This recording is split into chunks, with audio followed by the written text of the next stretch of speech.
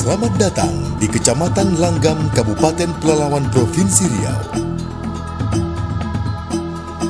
Kecamatan Langgam berada persis pada pertemuan dua aliran sungai Kampar, yakni Kampar Kiri dan Kampar Kanan.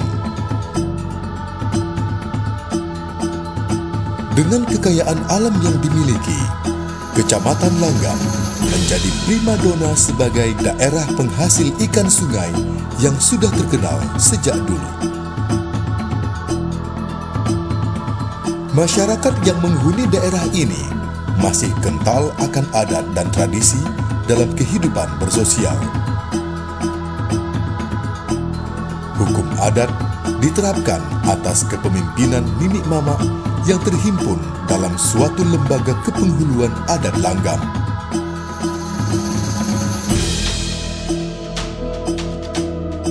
Penduduk yang bermukim di daerah Langgam pada umumnya menggantungkan hidup pada hasil sungai sebagai nelayan.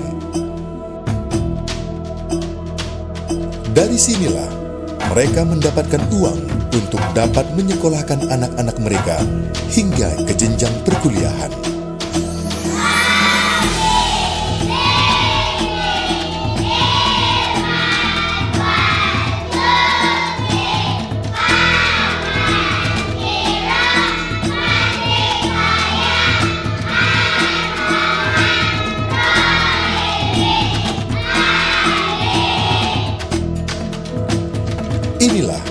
Kecamatan Langgam yang mengelola sumber daya alam dengan bijak sebagai sebuah kearifan lokal.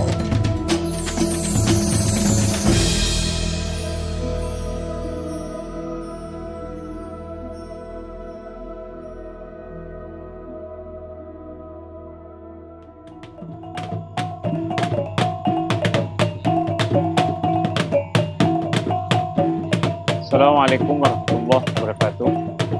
Selamat datang ke Desa Langgam yang berada di Kecamatan Langgam, Kabupaten Pelalawan, Provinsi Riau. Desa yang terkenal dengan adat istiadatnya. Salah satu potensi yang terbesar di desa kami ini adalah akan ikan salai-salai dari Desa Langgam. Untuk diketahui bahwa di ulayat kepenghuluan Langgam ini terdapat 13 sampai 14 danau, suak dan tasik yang kita lelang setiap tahun. Danau, tasik dan suak ini kita kelola secara adat. Kita kelola dengan kita jual atau kita lelang pada setiap tahunnya ke anak kemenakan yang berada di Desa Langgam ini.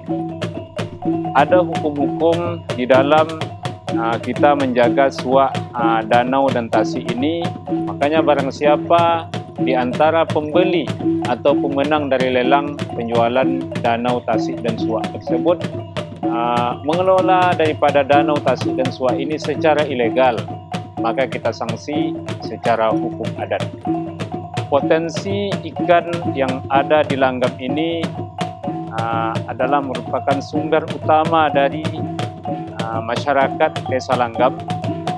Oleh sebab itu, marilah kita jaga sungai, danau, suak dan tasik ini untuk kelangsungan hidup daripada masyarakat itu sendiri.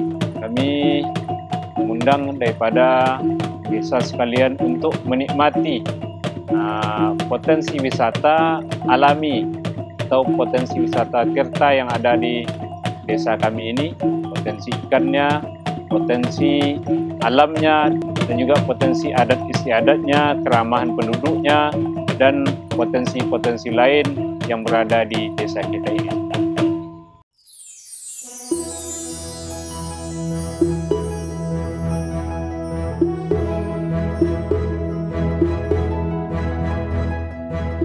Kecamatan Langgam telah dikembangkan menjadi daerah tujuan wisata berbasis masyarakat.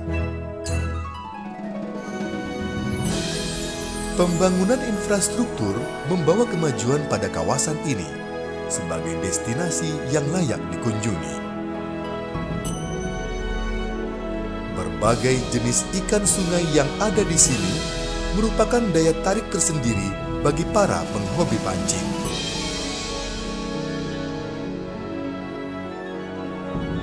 Potensi ini juga adalah sajian utama kuliner yang patut untuk dinikmati.